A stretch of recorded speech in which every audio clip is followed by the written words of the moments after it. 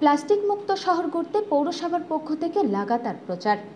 সপ্তাহের প্রথম দিন থেকেই জলপাইগুড়ি পৌরসভার চেয়ারপারসন পাপিয়া পাল এবং ভাইস চেয়ারম্যান সৈকত চ্যাটার্জির উদ্যোগে শহরের প্রধান ব্যবসায়িক স্থল দিনবাজারে হাতে হাতে প্লাস্টিক ব্যবহারের অপকারিতা সম্পর্কিত লিফলেট বিলি করে সচেতনতামূলক প্রচার করা হয়।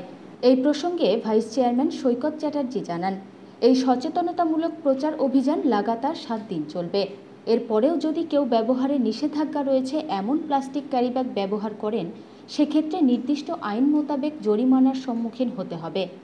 বাঁচার জন্য কিন্তু দরকার। আগামী সাত থেকে জলপাইগুড়ি অন্তর্গত এলাকায় প্লাস্টিক ব্যবহার করলে জলপাইগুড়ি পৌরসভা থেকে ফাইন ধার্য করা হবে। সকাল থেকে জলপাইগুড়ি পৌরসভা মাননীয় মুখ্যমন্ত্রী শ্রীমতী মমতা বন্দ্যোপাধ্যায়ের অনুপ্রেরণায় একটা প্লাস্টিক মুক্ত জলপাইগুড়ি গড়ে তোলবার অভিযান শুরু করেছে। আপনারা জানেন যে ছেষট্টি শতাংশ প্লাস্টিক কিন্তু রিসাইকেল হয় না। এবং প্লাস্টিক যদি পশুর পেটে বা মানুষের পেটে যায়, তার থেকে মানুষের মৃত্যুও হতে পারে, পশুর মৃত্যুও হতে পারে। এবং প্লাস্টিকটা পোড়ালে যে গ্যাসটা তৈরি হয়, তার থেকে ক্যান্সার ত্বরান্বিত হয়। এবং প্লাস্টিক প্লাস্টিক হচ্ছে অত্যন্ত ক্ষতিকারক জিনিস। তাই প্লাস্টিক মুক্ত জলপাইগুড়ি করতে আমরা বদ্ধপরিকর।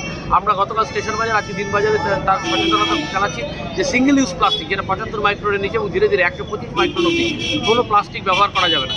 এছাড়া আমরা প্রত্যেকটা দোকানদারকে আমরা বালতি দেবো দুটো করে বালতি একটা পচনশীল ওয়েস্ট প্রোডাক্ট সেখানে রাখবে আর একটা অপচনশীল রাখবে সেটা আমরা কালেক্ট করব। তার বদলে একটা ন্যূনতম টাকা আমরা ধার্য করব এবং সেটাকে আমরা ডাম্পিং গ্রাউন্ডে গিয়ে সেগ্রিগেট করে সলিড ওয়েস্ট ম্যানেজমেন্ট প্রকল্পে এটাকে সারা শহরে ত্বরান্বিত করব। আর একটা কথা, যারা প্লাস্টিক আমরা এখন সাত দিন সচেতনতামূলক প্রচার চালাচ্ছি জনগণের কাছে, কারণ নিজে বছর নিজের পরবর্তী প্রজন্মকে বাঁচতে দিন। তারপরেও যদি যারা মানবেন না, সেই বিক্রেতাদের পাঁচশো থেকে হাজার টাকা অবধি ফাইন করা হবে এবং যারা ক্রেতা, তাদেরকেও একশো থেকে দুশো টাকা অবধি ফাইন করা হবে। আজকে একদিকে মাইকিং করছেন, অন্যদিকে প্লাস্টিক ক্যারি ব্যাগ নিয়ে মানুষ চলাফেরা করছে বহু হ্যাঁ, দেখা যাচ্ছে সচেতনতা তৈরি করছি। সাত দিন তো সচেতনতা তৈরি করার জন্য রেখেছি।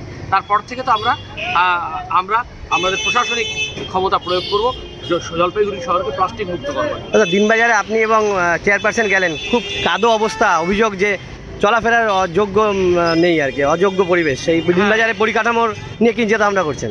দেখুন দিনবাজারে তো অলরেডি আমাদের আপনারা দেখছেন একটা সুপার মার্কেট তৈরি হয়েছে এবং তার দোকানদারদের দোকানঘর পেপার ট্রান্সফার হয়েছে। এবার তাদের তাদেরকে সম্পূর্ণভাবে তাদেরকে ট্রান্সফার পজিশন দেওয়া এবং তার সাথে সাথে ইলেকট্রিক ট্রান্সফরমারের যে সমস্যাটা রয়েছে, সেটা আমরা ডিএম এবং এসডিওকে নজরে এনেছি, মন্ত্রীরও নজরে এনেছি। সেটা শুরু হয়ে গেলে আমার মনে হয় না এতটা সমস্যা থাকবে। তারপরে যা যা করণীয় তাই তাই করা হবে।